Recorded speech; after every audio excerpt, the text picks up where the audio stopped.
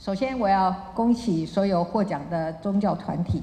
谢谢大家的努力和贡献，尤其是现场获得宗教公益生根奖的团体，都是在过去十年长期投入社会公益，这样的精神非常令人钦佩。我们宗教团体对社会的付出，无论是教育文化工作，像是提供安心客服、组成社会服务队。或者是提供牧林服务、成立食物银行、捐助救护车等等，大家在社会的每一个角落，在民众生活的不同面向上，都带来许多帮助。尤其是在疫情期间，宗教团体不只是发挥了安定人心的力量，那也捐赠各项的物资，帮助民众度过疫情的挑战。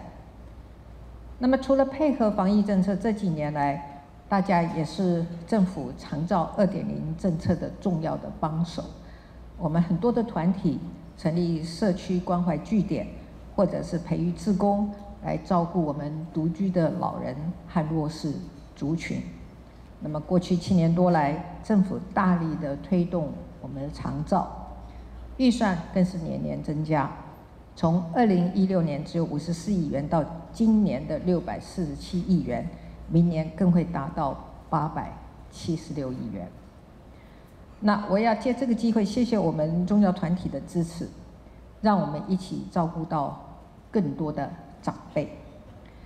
虽然大家的信仰教派不尽相同，但是我相信我们关心台湾、爱这块土地的心都是相同的。宗教团体的行善更是不分你我，不分族群，照顾每一个人，为社会带来正能量。同样的，在政府施政上，我们也很努力，要落实公平正义的信念，所以我们持续推出疫后减压的政策，来照顾我们的人民。那么，像是 T Pass 通勤月票。或者是还有三百亿的扩大租金补助，都希望减轻我们的通勤族，还有租屋族，尤其是年轻的族群的负担。那我也知道许多的宗教团体也提供奖助学金，帮助许多的学生和家庭。那明年从二月开始，政府也会减免私立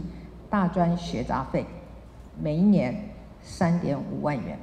让公私立大专的学杂费的差距缩小，还有我们公私立高中职也会全面的来免学费，落实教育平权。我们政府会继续推出为人民减压的政策，也希望我们宗教团体和政府我们携手来合作，带给人民更多的温暖。最后，我要再一次感谢现场的宗教团体和受奖代表对台湾无私的奉献。谢谢，谢谢大家，谢谢。